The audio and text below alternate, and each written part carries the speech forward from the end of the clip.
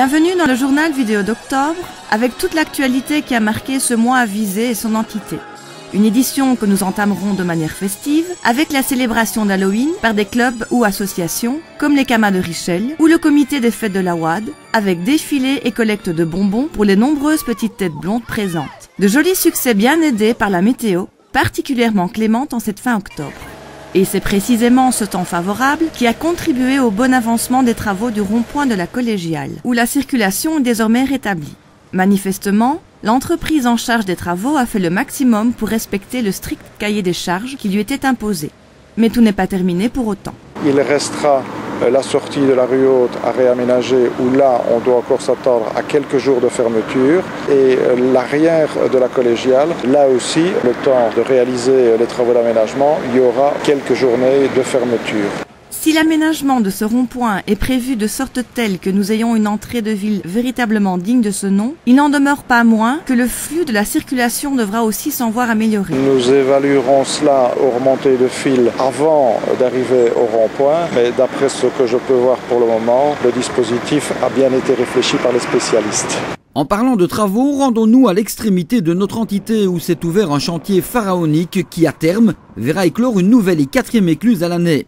Dès 2014, cet investissement de 120 millions d'euros, dont 84 à charge de la Wallonie, 27 pour l'Union européenne et 9 pour les Pays-Bas, permettra de faire passer des barges de 9000 tonnes sur cet ouvrage long de 225 mètres et large de 25 mètres.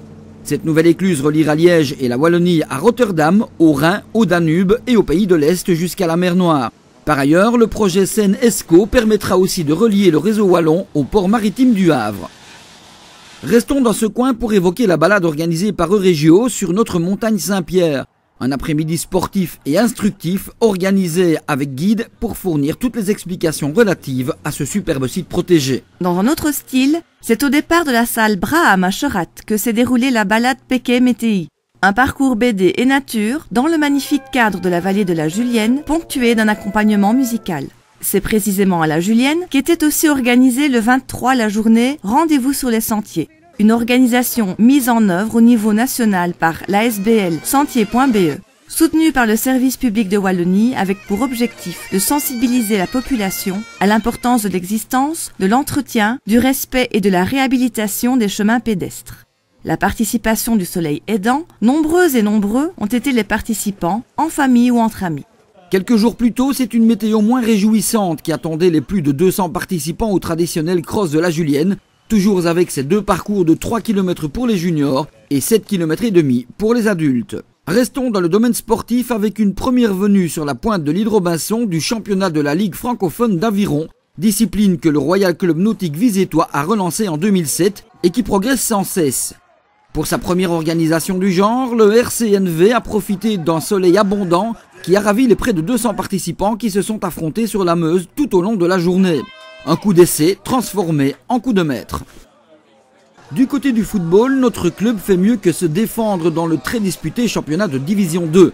Toujours extrêmement dynamique, le CS Visé organise des activités parallèles avec notamment des repas d'avant-match au chapiteau VIP. Sur le terrain, Visé a remporté 6 des 11 matchs disputés tout en en clôturant deux autres sur des nuls. Le bilan provisoire se traduit par une belle sixième place au championnat. Dans un tout autre domaine, la bibliothèque de Visé a rendu un hommage à Georges Simenon, tout en prévoyant en sus une soirée spéciale Simenon et Maigret se mettent à table, qui s'est tenue à la table d'hôte au goût du jour à Richel, avec une lecture à voix haute autour d'un repas à thème. Reste à savoir si cette idée plutôt sympa aura des suites.